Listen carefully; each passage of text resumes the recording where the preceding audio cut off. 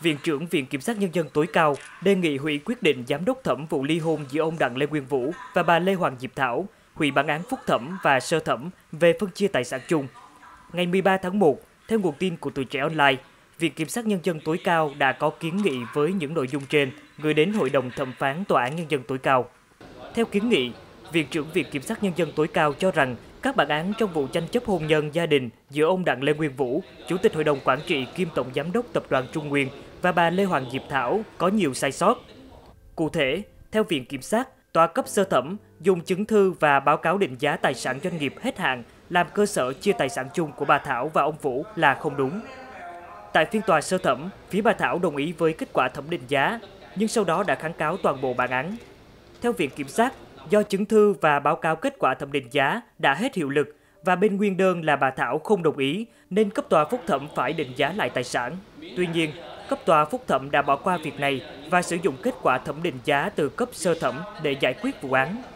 Cũng theo kiến nghị của Viện Kiểm sát, bà Thảo là doanh nhân. Quá trình giải quyết vụ án, bà luôn yêu cầu được chia cổ phần và vốn góp, nhưng tòa án các cấp lại chia cho bà tiền. Do đó, Viện Kiểm sát cho rằng tòa các cấp để ông Vũ nắm toàn bộ cổ phần là vi phạm quyền được kinh doanh của bà Thảo theo quy định của pháp luật. Quyết định giám đốc thẩm buộc bà Thảo chấm dứt hoạt động kinh doanh bình thường trong 7 công ty là không phù hợp quyền tự do kinh doanh, quyền bình đẳng nam nữ được yêu cầu trong Hiến pháp năm 2013 và nguyên tắc chia tài sản chung vợ chồng trong luật hôn nhân và gia đình.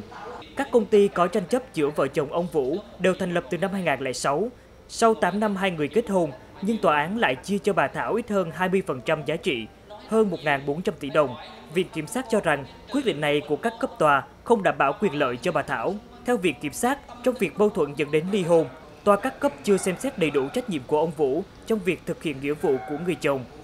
Do đó, cần tăng tỷ lệ phần trăm tài sản cho bà Thảo được chia trong khối tài sản chung để đảm bảo quyền lợi cho bà.